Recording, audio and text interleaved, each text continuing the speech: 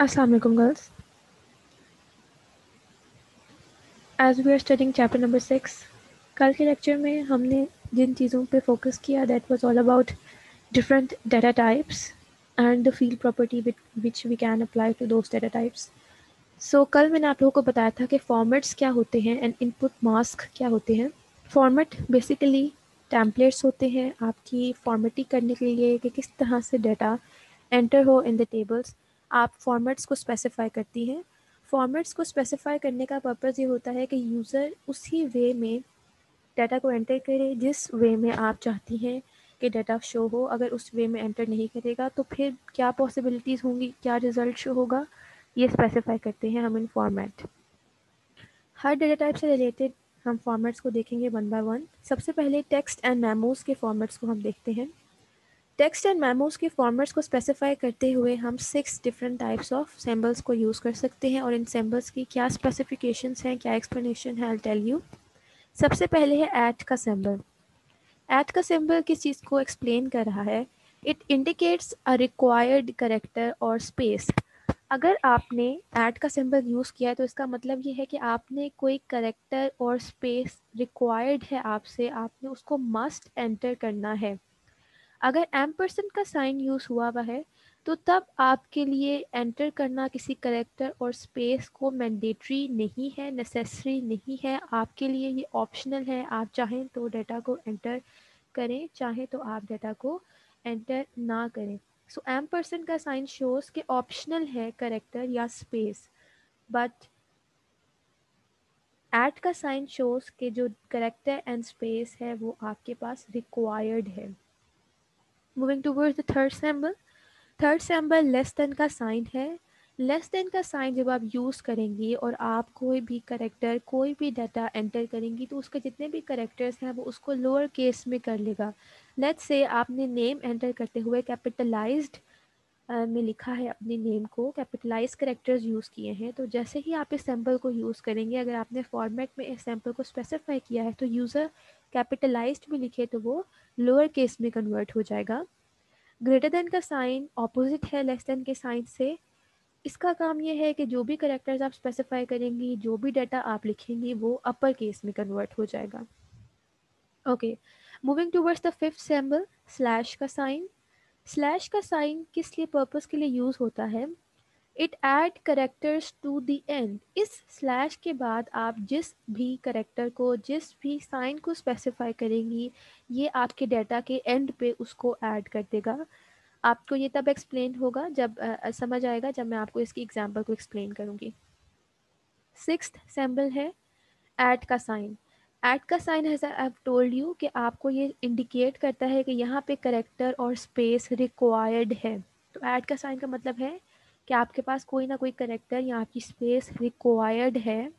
और अगर आप किसी भी करेक्टर या स्पेस जो आपसे रिक्वायर्ड की गई है, आप यही एंटर करती तो आपके पास एक्स वाई जी आउटपुट पे डिस्प्ले हो जाएगा। ऐड का साइन इंडिकेट्स के आपके पास जो करेक्टर है और स्पेस है, वो रिक्वायर्ड है। देन सेमी कॉलन का साइन के बाद जो स्पेसिफाई किया हुआ है बेसिकली वो आपकी स्क्रीन पे विजिबल हो जाएगा, अगर यूज़र कोई भी डाटा एंटर नहीं करता। So we'll see the examples one by one number first example को देखिए आपने फॉर्मेट को स्पेसिफाई किया थ्री ऐड के साइन देन डैश और फिर फोर ऐड के साइन तो इसका मतलब ये है कि आपके पास आपसे सेवन करेक्टर्स रिक्वायर्ड हैं, कि आपने सेवन करेक्टर्स एंटर करने हैं, और तीन करेक्टर्स के बाद डैश का साइन आएगा. आप देखें, जब आपने एंटर किया one two three four five six seven तो किस फॉर्मेट में वो कन्वर्ट हो गया? One two three dash four five six seven so seven characters हैं और सेवन करेक्टर्स में थ्री के बाद आपके पास डैश का साइन आ रहा है. Example number two six at के sign and then M percent और थ्री ऐड के साइन के पास आपके पास डैश है. इट स्पेसिफाइज कि सिक्स करेक्टर्स का होना मस्ट है. सेवन करेक्टर ऑप्शनल है. आप लिखें, ना लिखें that doesn't make any difference अगर लिख लेंगी तो वो ऐड हो जाएगा. अगर नहीं लिखेंगे तो कोई एरर कंडीशन नहीं है आपकी ये. तो इस तरह से थ्री करेक्टर्स के बाद आपके पास डैश का साइन आएगा। Let's see the data sheet entry अगर यूज़र ने one two three four five six लिखा है तो one two three dash four five six की फॉर्मेट में वो वहाँ पे डिस्प्ले होगा। मूविंग टूवर्ड्स लेस देन का साइन अगर आपने लेस देन का साइन के फॉर्मेट को स्पेसिफाई किया है तो जब आप लिखेंगे कैपिटलाइज्ड में कुछ भी तो वो लोअर केस में कन्वर्ट हो जाएगा। एग्ज़ाम्पल में आपके पास हेलो लिखा हुआ है कैपिटलाइज में तो वो लोअर केस में कन्वर्ट हो गया है। सिमिलरली अगर आपने ग्रेटर का साइन यूज़ किया है तो अगर आप किसी चीज़ को लोअर केस में लिख रही हैं तो वो अपर केस में अपने आप को कन्वर्ट कर लेगा। लोअर केस में लिखा हुआ है हेलो एंड वो कन्वर्ट हो गया है अपर केस के हेलो में। फिफ्थ एग्ज़ाम्पल एट का साइन है एट का साइन इंडिकेट कि कोई ना कोई करेक्टर मस्ट आना चाहिए। देन आपके पास स्लैश के साइन के बाद एम परसेंट है एक्सप्लेमेटरी मार्क है। मैंने आपको बताया था कि एम परसेंट के स्लैश के बाद एक्सप्लेमेटरी मार्क ये बताता है कि अब आपने इस साइन को ऐड करना है। तो जो भी यूज़र डाटा एंटर करेगा, उसके एंड पे एक्सप्लेमेटरी मार्क आ जाएगा। जब भी आप स्लैश के बाद किसी करेक्टर को बताती हैं तो वो करेक्टर आपके डाटा के एंड पे आ जाता है। जो भी डाटा एंटर यूज़र करेगा, उसके एंड पे वो साइन आ जाएगा। साइन कोई भी हो सकता है, जो भी आप चाह रही हो कि आपके डाटा के एंटर में आए। लास्ट एग्ज़ाम्पल जो कि ऊपर वाली फॉर्मेट से बिल्कुल सिमिलर है कि कोई करेक्टर आपसे डिमांड किया गया है ऐड का साइन यही बता रहा है, लेकिन अगर यूज़र डाटा एंटर नहीं करता, कोई कोई करेक्टर एंटर नहीं करता तो क्या आपके पास लिखा हुआ आ जाएगा नो डाटा एंटर्ड अब आप डाटा शीट की एंट्री देखें, अगर आपने ब्लैंक छोड़ दी है तो आपके पास डिस्प्ले पे आ जाएगा नो डाटा एंटर्ड क्यों? क्योंकि आपसे करेक्टर रिक्वायर्ड किया गया था, और अगर आपने करेक्टर नहीं लिखा तो आपको ये स्टेटमेंट ये मैसेज विजिबल कर देगा और आपके टेबल पे नो डाटा एंटर्ड लिखा हुआ आ जाएगा। सो so, ये कुछ फॉर्मेट्स थे which were related to text data type जो आपने टेक्स्ट की डाटा टाइप को जब आप सेट करते हैं तो ये फॉर्मेट्स उससे रिलेटेड हैं। मूविंग टूवर्ड्स नंबर फॉर्मेट कि अगर आपके नंबर डाटा टाइप है तो उसमें आपको कौन से फॉर्मेट को सेट करना होगा? तीन तरह के फॉर्मेट्स यूज़ होते हैं in the case of number zero hash and percentage का साइन ज़ीरो का प्लेस होल्डर हम कब यूज़ करते हैं? Zero is a placeholder that displays a digit और zero if there is none अगर आपने कुछ नहीं एंटर किया तो अगर आपने ज़ीरो फॉर्मेट को स्पेसिफाई किया हुआ है तो बाय डिफ़ॉल्ट वो आपके टेबल के अंदर किस चीज़ को ऐड कर देगा? ज़ीरो को या किसी भी डिजिट को? अगर आपने डिजिट को एंटर किया है, अगर आपने डिजिट को एंटर नहीं किया तो वो ज़ीरो को एंटर कर देगा। सो so, अगर आपने फॉर्मेट को ज़ीरो स्पेसिफाई किया है तो ये एक ऐसा प्लेस होल्डर है जो अगर आपने डिजिट को एंटर किया है तो डिजिट को डिस्प्ले करेगा लेकिन अगर यूज़र ने कुछ नहीं एंटर किया तो वो उसकी जगह पे ज़ीरो को डिस्प्ले करेगा। देन कम्स हैश का placeholder hash is a placeholder that displays a digit और nothing if there is none जो अगर आपने डिजिट एंटर किया है तो वो डिजिट को डिस्प्ले करेगा बट अगर आपने कोई चीज़ नहीं लिखी तो वो उसकी जगह पे कुछ भी डिस्प्ले नहीं करेगा मतलब उसकी जगह पे कुछ भी नहीं आएगा अल्टरनेटिव में। थर्ड सिंबल इज़ परसेंटेज का साइन परसेंटेज का साइन इस चीज़ को इंडिकेट कर रहा है कि ये आपको परसेंटेज कैलकुलेट करके देगा। परसेंटेज कैलकुलेट करने का वे ये है कि जो भी आप डाटा एंटर करेंगी हंड्रेड से मल्टीप्लाई करके परसेंटेज का साइन ऐड करके ये फॉर्मेट आपको उसका रिज़ल्ट देगा। अब coming towards the example first example को अगर आप देखें तो आपके पास तीन हैश के साइन है। इसका ये इंडिकेशन है कि अगर तो यूज़र ने कोई डिजिट एंटर किया तो वो डिजिट आ जाएगा। अगर यूज़र ने कोई डिजिट एंटर नहीं किया तो उसकी जगह पे कुछ भी नहीं आएगा। देन कम्स कॉमा तो कॉमा आपका एज इट इज़ डिस्प्ले होगा। देन फिर से दो हैश है टू हैश सिम्बल्स हैं। वो भी इसी चीज़ को इंडिकेट कर रही है कि अगर आपने कुछ एंटर किया तो आपके पास डिस्प्ले होगा एल्स आपके पास कुछ भी डिस्प्ले नहीं होगा। Then come zero point zero zero zero indicates के जो डाटा एंटर यूज़र करेगा वो डिस्प्ले होगा एल्स आपका वहाँ पे ज़ीरो डिस्प्ले होगा अगर यूज़र ने कुछ एंटर नहीं किया। तो लेट्स सी कि अगर डाटा शीट पे यूज़र एंटर करता है one two three four five six point seven eight तो वो किस फॉर्मेट में कन्वर्ट हो जाएगा? One two three comma four five six point seven eight क्यों? क्योंकि यहाँ पे फॉर्मेट में हमने कोमा को स्पेसिफाई किया हुआ है। Moving towards example number two dollar का साइन है डॉलर का साइन इंडिकेट्स कि आपके पास आउटपुट पर डॉलर का साइन आएगा। Then three hash comma two hash zero point zero zero exactly the same format as above अब यूज़र ने एंटर किया है ज़ीरो हैश का साइन का मतलब ये है कि अगर यूज़र कुछ नहीं एंटर करता तो उसकी जगह पे कुछ भी नहीं आएगा। नथिंग वुड बी डिस्प्ले तो उसकी जगह पे कुछ भी नहीं आएगा। सब हैश इग्नोर हो गए। And zero point zero zero indicate का ज़ीरो मस्ट आएगा। So dollar zero point zero zero would be your output moving toward the third example three hash symbol dot zero zero percentage का sign three hash indicates अगर user ने कुछ नहीं enter किया तो nothing would be displayed अगर user ने enter किया तो well and good point zero zero अगर यूज़र ने कुछ नहीं एंटर किया तो zero would be displayed so your example अगर यूज़र ने डेटा शीट में एंटर किया है point one, two, three percentage का साइन है मल्टीप्लाई करेगा हंड्रेड से तो आपके पास आ जाएगा twelve point three twelve point three percentage so this would be your in the display तीन तरह के नंबर फॉर्मेट्स हैं, जो कि नंबर की स्टाइलिंग को सेट करने के लिए यूज़ होते हैं. ज़ीरो हैश एंड परसेंटेज का sign. Okay moving towards the currency format currency format में जो आप जब फॉर्मेट को स्पेसिफाई करती हैं तो उसके फोर पार्ट्स होते हैं और फोर पार्ट्स आपस में एक दूसरे से सेमी कॉलन से सेपरेटेड होते हैं। वन बाई वन मैं आपको फोर uh, पार्ट्स का बताती हूँ। The first part is about positive number कि अगर यूज़र ने पॉजिटिव करेंसी एंटर की है लेट्स से यूज़र ने 12.3 करेंसी एंटर की है तो किस तरह से रिज़ल्ट डिस्प्ले होना चाहिए? Second part is about negative numbers कि अगर यूज़र ने नेगेटिव करेंसी एंटर की है तो वो किस फॉर्मेट में आपके पास डिस्प्ले होंगे? Third part is about zero values कि अगर एंटर कर देता है यूज़र ज़ीरो वैल्यूज़ लेट से ज़ीरो करेंसी एंटर करता है तो वो किस फॉर्मेट में डिस्प्ले होगा? And four part is about none values कि अगर यूज़र ने नल वैल्यूज़ दी हैं, कुछ भी नहीं एंटर किया ब्लैंक छोड़ दिया आपकी स्पेस तो वो किस फॉर्मेट में डिस्प्ले होगा? इस एग्ज़ाम्पल को देखिए आप. First part is about positive values अगर यूज़र ने एंटर किया लेट से ट्वेल्व पॉइंट थ्री फोर तो वो किस फॉर्मेट में डिस्प्ले होगा? डॉलर का साइन सबसे पहले आएगा।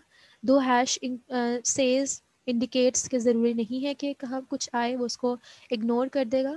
ज़ीरो पॉइंट ज़ीरो ज़ीरो के फॉर्मेट में आपका dollar zero point zero zero के फॉर्मेट में आपकी जो करेंसी है, वो डिस्प्ले हो जाएगी। Moving towards the next part अगर यूज़र ने नेगेटिव करेंसी एंटर की है तो नेगेटिव करेंसी रेड कलर में आएगी।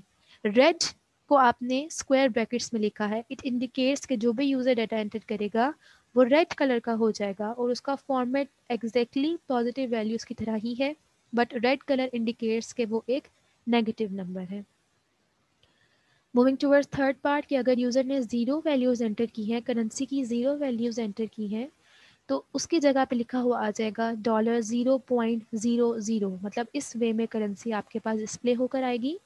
And fourth part is none as I have told you कि अगर यूज़र कुछ नहीं एंटर करता तो क्या हो? तो ये होगा कि उस एंटिटी उस फ़ील्ड की जगह पे आपके पास नन लिखा हुआ आ जाएगा. So this formatting was about currency data type moving towards date formats date में आपके पास जो फॉर्मेट्स हैं टेबल की फॉर्म में आपके पास विजिबल हैं।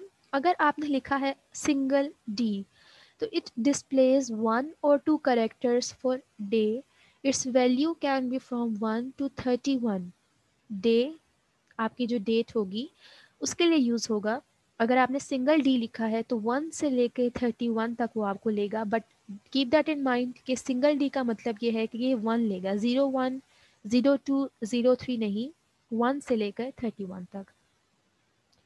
If you have brought double D in format तो वो डिस्प्ले करेगा टू करेक्टर्स को। ज़ीरो वन से लेके thirty one zero one zero two zero three मतलब जो आपकी डेट आएगी, वो दो करेक्टर्स की फॉर्मेट में आएगी सिंगल करेक्टर की फॉर्मेट में नहीं आ सकती।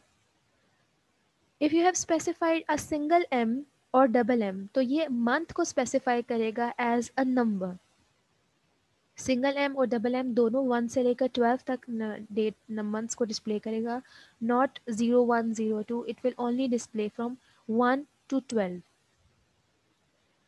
if we have specified three M in format तो वो आपके मंथ के पहले तीन करेक्टर्स को शो करेगा। जिस तरह जनवरी का जे ए एन फेबररी के लिए एफ़ ई बी मार्च के लिए M A R if you have specified four Ms तो वो आपके फुल मंथ को डिस्प्ले करेगा फुल मंथ के नेम को। फुल जनवरी नवंबर है तो फुल नवंबर दिसंबर है तो फुल दिसंबर का नेम देन अगर आपने स्लैश के साइन के साथ डैश यूज़ किया है मैंने आपको टेक्स्ट फॉर्मेटिंग में बताया था कि अगर आप स्लैश के साइन के बाद कोई भी करेक्टर को लिखती हैं तो वो आपके डेटा के एंड पे आ जाता है। तो अगर आपने डैश को लिखा है तो इसका मतलब है कि ये वाला सिंबल आपके डेट्स के मिडल में या जहाँ पे भी आप स्पेसिफाई करेंगी, वहाँ पे आएगा। एच स्टैंड फॉर ऑर्स अगर आपने एच लिखा है तो जो आपके ऑर्स हैं, वो विजिबल होंगे, वो डिस्प्ले होंगे। N stand for minutes M because हम मंथ्स के लिए यूज़ करते हैं, इसलिए मिनट्स के लिए हम एन को यूज़ करते हैं एम को यूज़ नहीं करते। And S stand for seconds S आपके सेकेंड्स को स्पेसिफाई करेगा। Let's see some examples four D है। फोर डी स्पेसिफाइज कि आपने डे को लिखना है in the terms of characters जिस तरह फोर एम्स था फोर मंथ के नेम के लिए तो four Ds will indicate the name of the day जो भी नेम है आपका मंडे है ट्यूसडे है, वो फुल आपके पास डिस्प्ले होकर आ जाएगा। Then comma is in double quotes double quotes में जो भी चीज़ होती है, वो एज इट इज़ डिस्प्ले हो जाती है तो यू कैन सी कि डिस्प्ले में आपके पास कॉमा लिखा हुआ आ गया है। Then four M four M shows the full name of the month so अगर आपका जो भी मंथ है लेट्स से जनवरी है फेबररी है, वो फुल डिस्प्ले होगा। Then comma space space as it is display होगी। सिंगल डी सिंगल डी किस लिए होता है?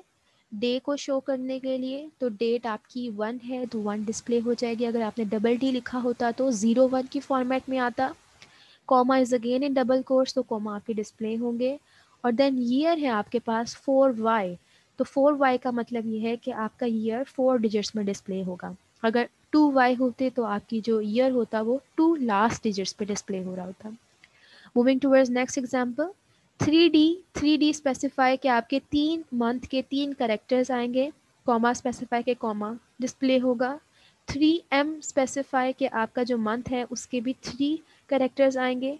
Then there is a dot dot in double quotes जो भी चीज़ आपके डबल कोर्स में होती है, वो एज इट इज़ डिस्प्ले होती है। Single D indicates day not in the format of zero one zero two just of the format of one अगर दो डी होते तो हम ज़ीरो वन ज़ीरो टू की फॉर्मेट में अपने डेट को देते। And then again there is comma comma specify कि आपके पास कॉमा आएगा।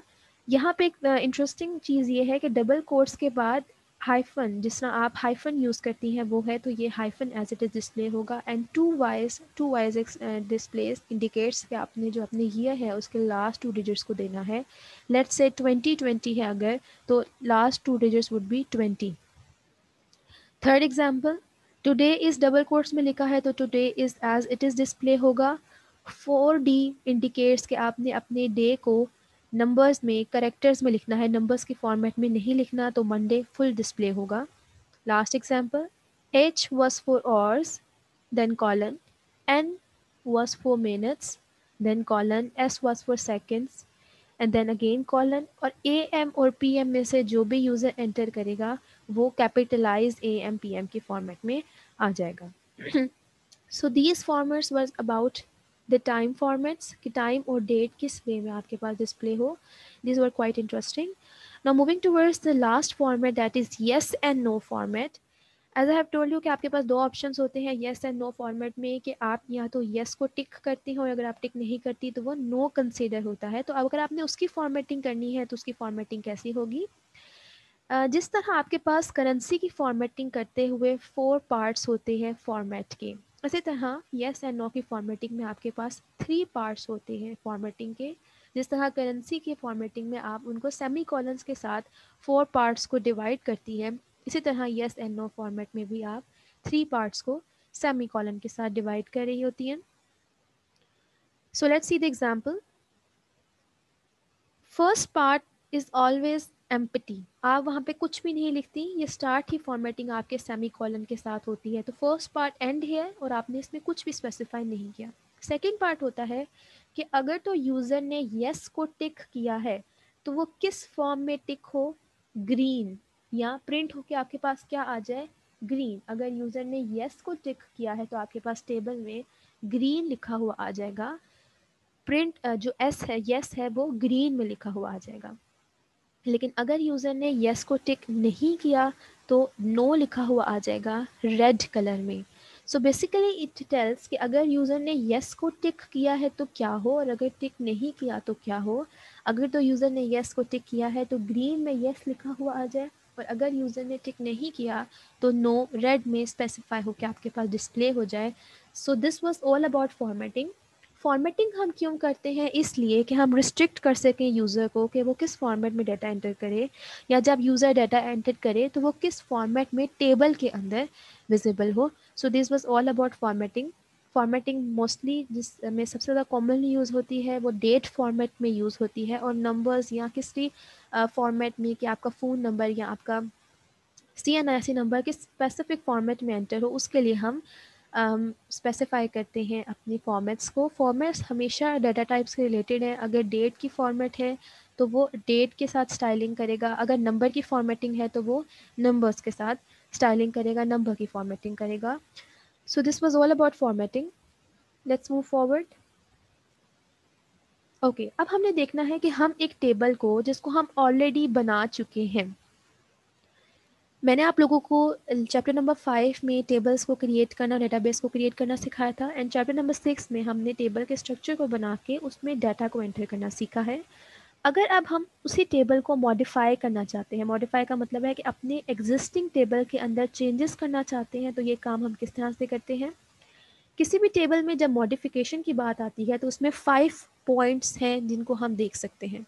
एडिंग रिकॉर्ड्स कि एक टेबल ऑलरेडी बना हुआ है और आप उसके अंदर रिकॉर्ड्स को ऐड कर सकती हैं एडिटिंग रिकॉर्ड्स टेबल ऑलरेडी बना हुआ है और आप कुछ एडिट करना चाहती हैं। लेट्स से किसी का फ़ोन नंबर चेंज हो गया है तो मैं फ़ोन नंबर एडिट करके अगर उसको चेंज करूँगी तो इस तरह से मैं मैं टेबल को मॉडिफाई कर सकती हूँ।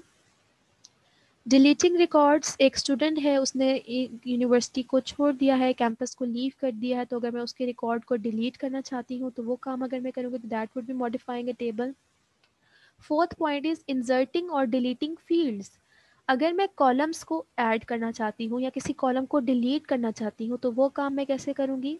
And fifth part is resizing rows and columns अगर मैं अपने रोज़ एंड कॉलम्स की विर्थ को बदलना चाहती हूँ, कि उनमें जितना डाटा आ सके या उनकी रीसाइजिंग करना चाहती हूँ तो that would also be modifying a table तो आप अपने टेबल को मॉडिफाई कर सकती हैं in five ways first is adding records The user can add new records to table in datasheet view.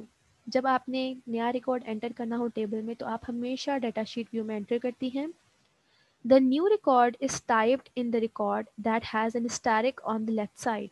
जब भी आप न्यू रिकॉर्ड एंटर करती हैं तो एक स्टैरिक का साइन आपके टेबल के लेफ़्ट पे आता है। I show you later it indicates the new record asterisk का साइन किस चीज़ को शो करता है कि ये एक नया रिकॉर्ड है।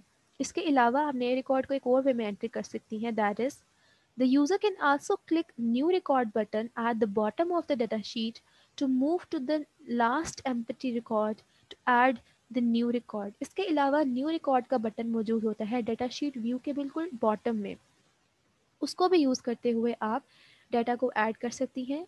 आप डाटा को जस्ट सिंपली स्टैरिक वाल स्टैरिक से भी ऐड कर सकती हैं, जहाँ पे आपके पास स्टैरिक विजिबल हो, आप उसके आगे डाटा एंटर करें। या इसके अलावा आप न्यू रिकॉर्ड के बटन के थ्रू भी डाटा को ऐड कर सकती हैं। एंड ऑलवेज रिमेंबर जब भी हमने डाटा को ऐड करना होता है तो हम ये डाटा शीट व्यू में करते हैं। सेकेंड इज़ एडिटिंग रिकॉर्ड के रिकॉर्ड को चेंज करना, उसमें चेंजेस करना, उसको एडिट करना। The user can edit records by placing the cursor in the record to be edited and making necessary changes जब भी यूज़र ने रिकॉर्ड को एडिट करना हो तो वो अपना कर्सर उस स्पेसिफिक रिकॉर्ड पे रखता है जिसको उसने एडिट करना है और जो भी चेंजेस करनी है आप बैक स्पेस करके अपनी चेंजेस कर सकती हैं। The arrow keys are use to move through the record grid जब आप अपने रिकॉर्ड में, अपने टेबल में डिफरेंट रिकॉर्ड्स में शिफ्ट करना चाहती हैं स्वैपिंग करना चाहती हैं जैसे मैं ऊपर जाना चाहती हूँ देन मूवमेंट करके नीचे आना चाहती हूँ तो उसके लिए मैं एरो कीज़ को यूज़ करती हूँ। Left right top and bottom इसके थ्रू मैं मूवमेंट करती हूँ between different records The previous, next, first and last record buttons at the bottom of datasheet are helpful in editing the datasheets. जब भी आपने अपनी डाटा शीट्स को edit करना हो तो आपके डाटा शीट व्यू के बॉटम में चार बटन्स होते हैं। प्रीवियस का बटन नेक्स्ट का बटन फ़र्स्ट का बटन एंड लास्ट का बटन फ़र्स्ट का बटन आपको अपने सबसे टॉप फ़र्स्ट टॉप रिकॉर्ड पे ले जाएगा। लास्ट का बटन आपको अपने टेबल के सबसे लास्ट रिकॉर्ड पे ले आएगा। प्रीवियस का बटन जिस पे आप करंटली हैं, उससे एक लेवल प्रीवियस ले जाएगा और नेक्स्ट का बटन जिस पे अभी आप करंटली हैं, उससे आपको एक नेक्स्ट लेवल पे ले जाएगा। तो इस तरह से आप अपने रिकॉर्ड्स में मूवमेंट करेंगी और अपने डाटा को एडिट कर सकती हैं।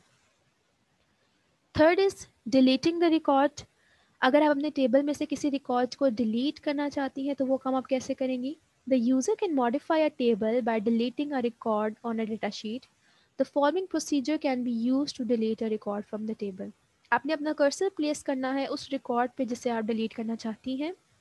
देन आपने एडिट में जाना है एंड डिलीट रिकॉर्ड के बटन को जब आप क्लिक करेंगे तो आपका रिकॉर्ड डिलीट हो जाएगा। या इसके अलावा अगर आप एडिट पे नहीं जाना चाहती जस्ट डिलीट के बटन पे आप क्लिक करेंगे तो भी आपका रिकॉर्ड डिलीट हो जाएगा। But first you have to move to the particular record जिसको आपने डिलीट करना है। Fourth way of modifying a table is inserting और डिलीटिंग द फील्ड्स अगर आप अपने टेबल में किसी न्यू फ़ील्ड को ऐड करना चाहती हैं, आप टेबल ऑलरेडी क्रिएट कर चुकी थी, आपको बाद में रियलाइज़ हुआ कि मुझे एक और फ़ील्ड को ऐड करना है तो वो काम आप कैसे करेंगी? सिमिलरली एक फ़ील्ड अननेसेसरी है, उसको आप डिलीट करना चाहती हैं तो वो काम आप कैसे करेंगी? दोनों के प्रोसीजर मेंशन है। First procedure is about adding a new record Highlight the record before which the new record is to be added by clicking its label at the top of the data sheet. जब भी आपने किसी column को add करना है, जिस column से पहले आपने उसको ऐड करना है, आपने उस कॉलम पे क्लिक करना है, जब आप उस पर क्लिक करेंगी राइट right क्लिक करेंगी तो आपके पास वहाँ पे इंसर्ट कॉलम का ऑप्शन आएगा। उसको जब आप सेलेक्ट करेंगी तो ऑटोमेटिकली टेबल इंसर्ट हो जाएगा। देन आप उस टेबल की डाटा टाइप को मेंशन करके उसमें डाटा को इंसर्ट कर सकती हैं। Similarly, how you can delete a uh, delete a column? You can delete a column in the same way. जिस भी कॉलम को आपने डिलीट करना है उस पर आप कर्सर रखेंगे उसको आप क्लिक करेंगी जैसे ही आप उस पर राइट क्लिक करेंगी तो आपके पास डिलीट कॉलम का ऑप्शन आएगा और आप डिलीट कर सकती हैं उस स्पेसिफिक कॉलम को जिस जो अननेसेसरी है जिसका आपके टेबल में कोई यूज़ नहीं है okay fifth way of modifying a table is resizing rows and columns कि आप किसी पर्टिकुलर रो या किसी पर्टिकुलर कॉलम को रीसाइज कैसे कर सकती हैं? The height of a call of a row on a data sheet can be change आपके जो रो की हाइट है आप उसको चेंज कर सकती हैं। The user can drag the grey sizing line between the row label up and down with the mouse जब आप अपनी रोज़ uh, के साथ मौजूद ग्रे साइजिंग लाइन को ड्रैग करती हैं अप या डाउन अगर आप डाउन ड्रैग करती हैं तो साइज़ ज़्यादा होगा हाइट ज़्यादा होगी। अगर आप अब मूव करती हैं तो जो साइज़ ज़्यादा हुई हुई है वो आप कम हो जाएगी। तो इस तरह से आप रीसाइजिंग कर सकती हैं। The height of all the rows is change if there is any change in the height of any row अगर आप किसी सिंगल रो की हाइट को चेंज करती हैं तो आपके टेबल में मौजूद जितनी भी रोज़ हैं, उन सब की हाइट चेंज होगी। ये थी रोज़ की साइजिंग हम कॉलम की विथ को किस तरह से बदल सकते हैं, अब हम उसको देखते हैं. The column width can also be changed the user can drag the sizing line between the columns user drag करेगा जब साइजिंग लाइन को कॉलम्स के मिडल में तो कॉलम्स की विथ चेंज होगी. और जब रोज़ के मिडल में करेगा तो रोज़ की हाइट चेंज होगी. The user can double click on the line expand the column according to the longest value in the column जो आपके कॉलम में ऐसी फ़ील्ड है, जिसमें ज़्यादा करेक्टर्स आते हैं, जिसकी विर्थ ज़्यादा होने की ज़रूरत है, आप उसकी लाइन को जब ड्रैग करेंगे साइजिंग लाइन को तो उसके थ्रू आप उसकी लाइन को, उसकी विर्थ को एक्सपैंड कर सकती हैं। Different columns on a data sheet can have different widths as I have told you कि जब आप रोज़ को स्पेसिफाई करती हैं, उसकी साइजिंग रीसाइजिंग करती हैं तो जैसे आप एक रो की रीसाइजिंग करती हैं, सबकी ऑटोमेटिकली वैसे ही हो जाती है। बट कॉलम के वे में डिफ़र है। कॉलम की डिफरेंट विथ हो सकती हैं बट तमाम रोज़ की हाइट सेम होगी। The exact values can be assign from format row height और format column width from the menu bar इसके अलावा आप फॉर्मेट पे जाके रो हाइट पे जाके किसी स्पेसिफिक नंबर वैल्यू को भी सेट कर सकती हैं। अगर आप रेंडमली ड्रैग करके सेट नहीं करना चाहती तो आप नंबर्स में भी वैल्यू को सेट करके विर्थ को और हाइट को सेट कर सकती हैं। रोज़ की हाइट चेंज होती है और कॉलम्स की width okay now I show you practically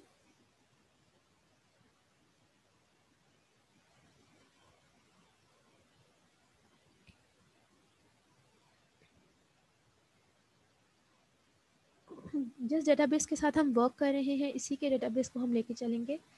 सबसे पहले मॉडिफाई टेबल को हम करते हैं जब हम किसी नए रिकॉर्ड को ऐड करते हैं. नए रिकॉर्ड को ऐड करने के लिए मैंने आपको स्टैरिक का साइन बताया था और ये स्टैरिक का साइन आप सबको विजिबल होगा। ये इसको इंडिकेट कर रहा है कि यहाँ पे एक नया रिकॉर्ड है जिसको आप एंटर कर सकती हैं। जैसे ही मैं इस पर क्लिक करूँगी तो यू कैन सी कि मैं इस पर नए रिकॉर्ड को एंटर कर लूँगी। जैसे ही मैंने नया रिकॉर्ड को एंटर करना शुरू किया तो अब नेक्स्ट लाइन पे वही स्टैरिक का साइन आ गया है।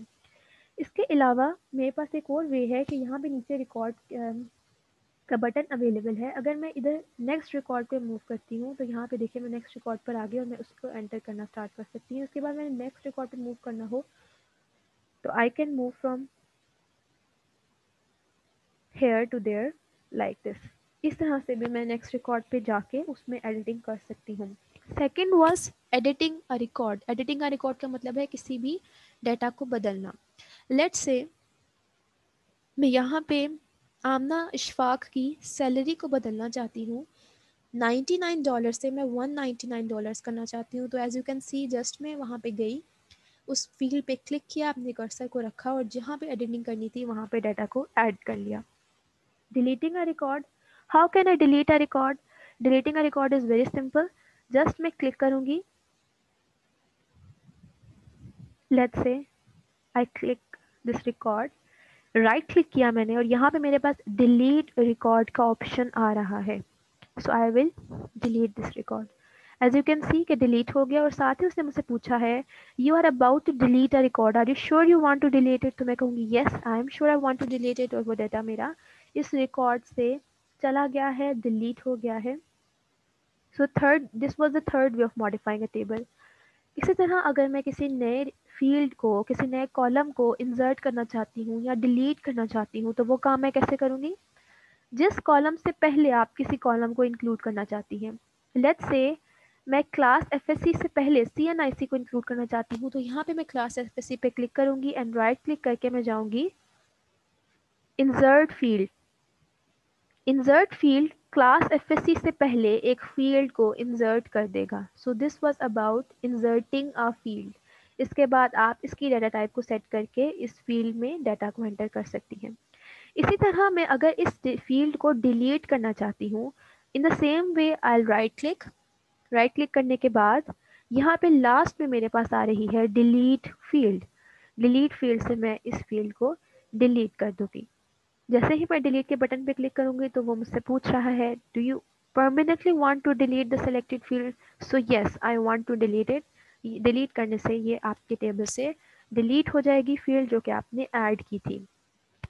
This was the fourth way of modifying a table the fifth way of modifying the table is resizing rows and columns तो अगर आपने रीसाइज करना हो अपने रोज की हाइट को तो आप देख सकती हैं कि जैसे ही आप इस ग्रे लाइन स्पेसिंग पे आएँगी तो इस तरह से आपका जो है वो कर्सर इस वे में कन्वर्ट हो जाएगा। और जब आप इसको ड्रैग करेंगी मैं हाइट अगर लेट से इतनी करना चाहती हूँ तो यू कैन सी हर डाटा की हाइट चेंज हो गई है। इसी तरह अगर मैं अपवर्ड मूव करूँगी तो आपकी हाइट वापस चेंज हो जाएगी। यहाँ पे जो इंटरेस्टिंग बात है, जो नोट करनी है आपने, वो ये है कि जब मैं किसी भी एक रिकॉर्ड की विथ को चेंज कर रही हूँ तो पूरे टेबल का रिकॉर्ड उससे अल्टर हो रहा है। पूरे टेबल की जो जितने भी रोज़ हैं, जितने भी रिकॉर्ड्स हैं, उन सब की विथ इससे अल्टर हो रही है। साइज़ हाइट सॉरी आप किसी एक की हाइट को चेंज करेंगी तो बाकी सब की हाइट भी चेंज हो रही है। इसी तरह अगर मैं अपने कॉलम की वर्थ को चेंज करना चाहती हूँ लेट्स से मैं चाहती हूँ कि इस कॉलम की वर्थ थोड़ी ज़्यादा हो जाए तो इस तरह से मैं ड्रैग करूँगी और इस कॉलम की वर्थ ज़्यादा हो जाएगी। जब आप कॉलम की वर्थ को चेंज कर रही हैं तो बाकी कॉलम्स की वर्थ पे कोई फ़र्क नहीं पड़ा जस्ट स्पेसिफाइड कॉलम की वर्थ ही ज़्यादा हुई है। लेकिन जब आप रोज़ की हाइट को चेंज करती हैं एक को चेंज करने से बाकी सब भी अल्टर होती हैं बाकी सब भी चेंज होती हैं। So this is the difference between resizing the height of rows and width of the columns इसका अफेक्ट पूरे टेबल पे होगा हाइट को चेंज करने का बट विथ का अफेक्ट जस्ट स्पेसिफाइड फ़ील्ड पर ही होगा। सो so, इस तरह से आप अपने टेबल के डाटा को मॉडिफाई कर सकती हैं। बहुत इजी है। इसके लिए डाटा शीट व्यू में आपका होना ज़रूरी है ताकि आप डाटा शीट व्यू के अंदर डाटा को इंसर्ट कर सकें चेंज कर सकें। So I hope this lecture is quite clear to you आज के लेक्चर में हमारा एम्फोसिस स्टार्ट पे था फॉर्मेटिंग पे, कि किस तरह से आप डिफरेंट डाटा टाइप्स के डाटा को फॉर्मेट कर सकती हैं। एंड लास्टली हमने ये देखा कि किस तरह से हम अपने टेबल को मॉडिफाई कर सकते हैं। We can modify the table in five different ways. We can add record, we can edit existing record, we can also delete an existing record we can add or delete any field any specified field and uh, similarly we can resize the width of the field and the height of the rows. So this was all about today's lecture